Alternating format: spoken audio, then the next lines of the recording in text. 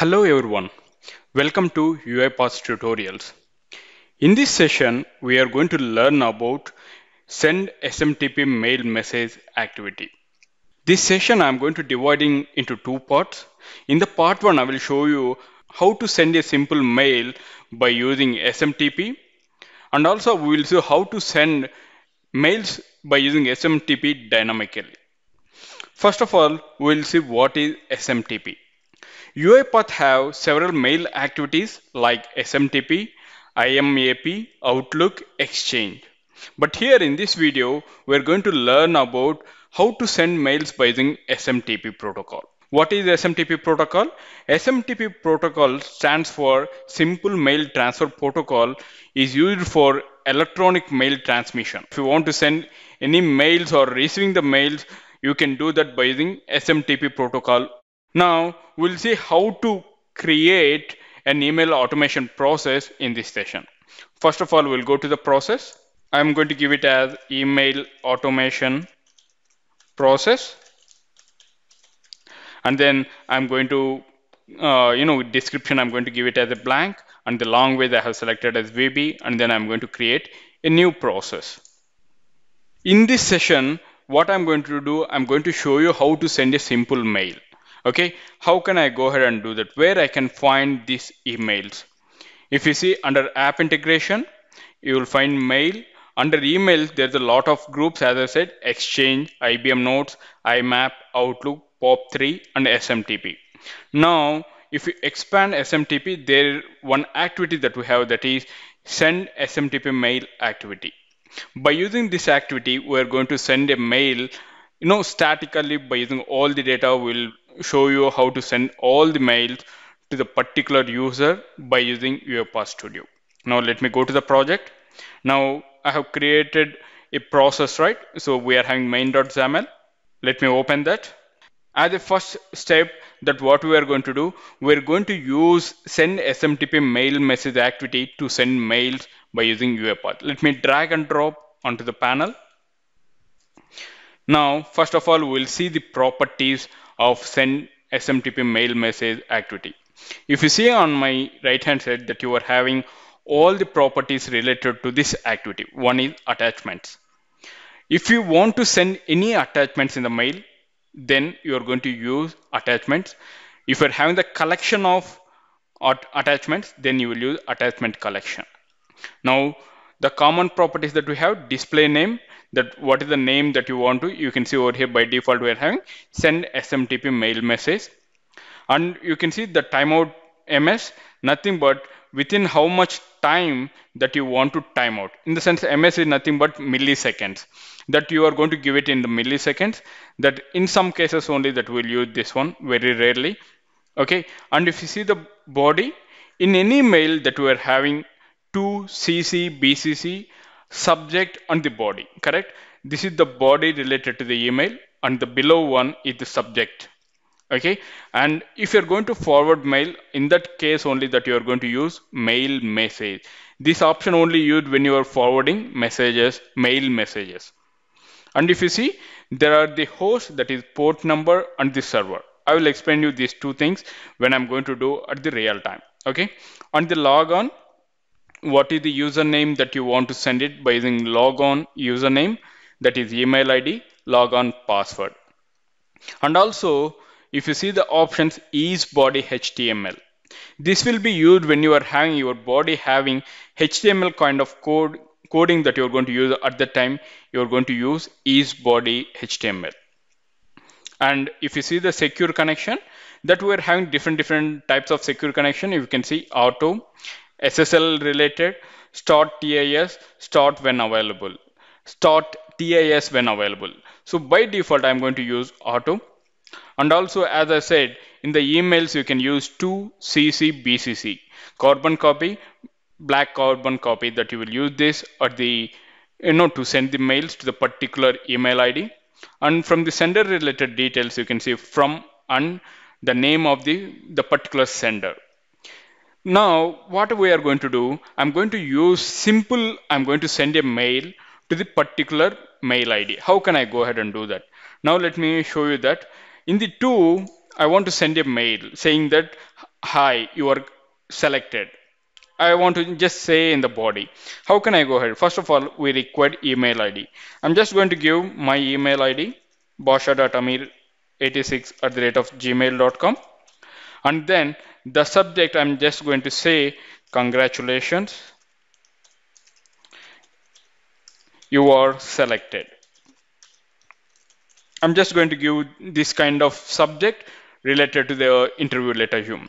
And the subject and the body, I will say is in the body, dear Basha, we are very happy to inform that you are selected in interview. I just want to give this kind of message to the particular person that is two in the two that have mentioned basha.amir86 that is the email id and the subject says congratulations you are selected. And you can see this whenever you are going to say over here the values or required argument was not supplied. You can see the error over here.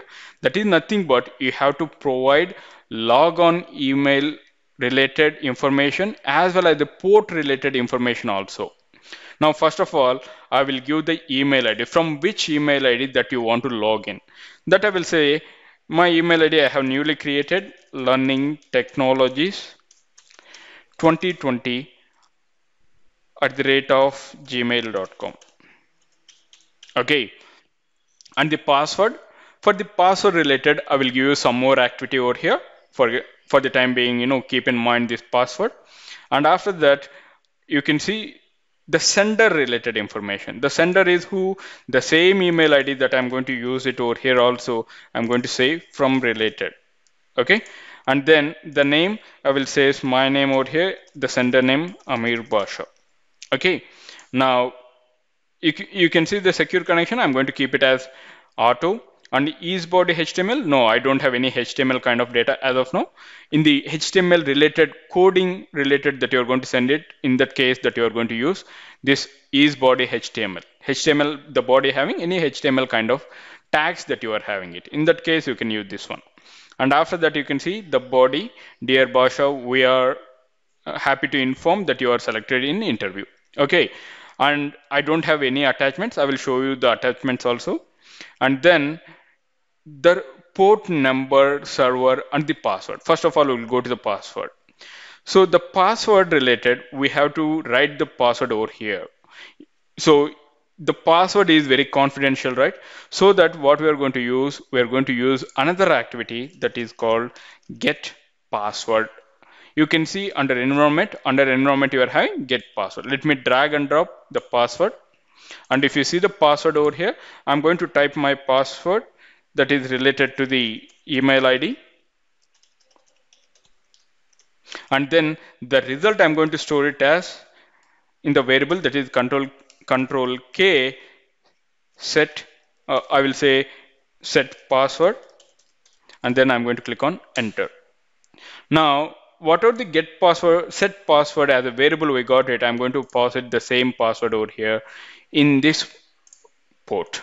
Okay, now the password location, what I have to give? Set PWD.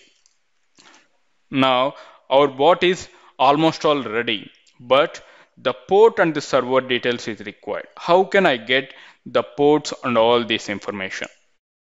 Now, if you see, I'm going to use Gmail as my logon, that is email and the password. Okay, now let me go to you know Google and then just I will say Gmail SMTP details SMTP server details. I'm going to search it for that and then let me click on that. You can see over here, I'm going for the support Google. Let me open that.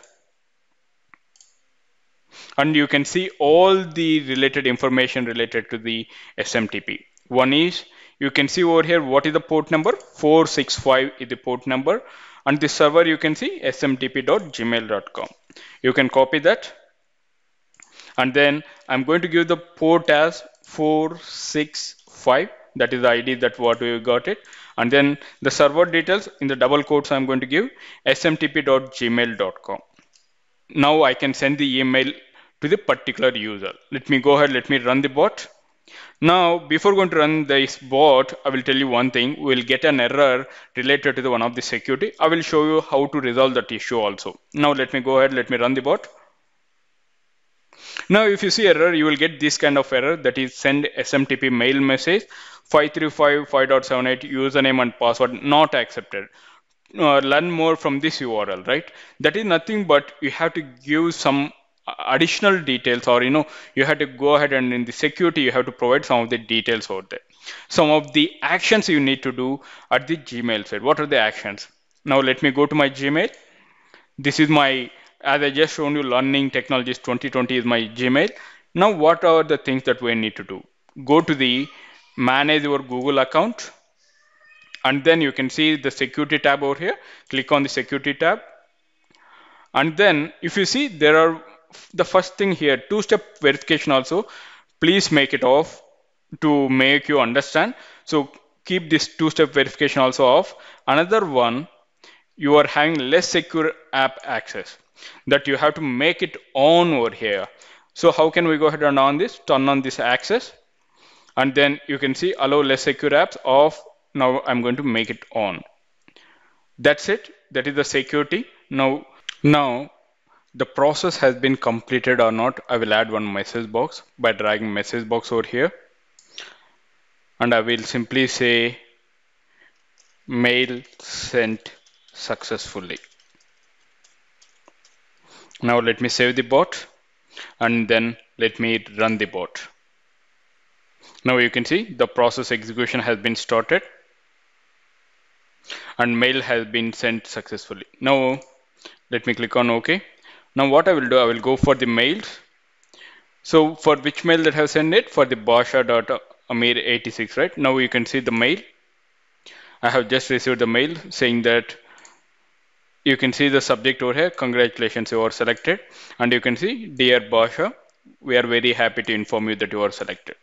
And now let me go to the sender email and let me go to send. And you can see the mail also over here that it has been sent successfully. This is how we are going to send the mails by using SMTP protocol. In the next session, I will show you how to send these mails dynamically in the part 2. Thank you for watching UiPath tutorials. If you have any queries related to this concept, please post them in the comment section. I will see you in the next session. Till then, bye-bye. Have a nice day.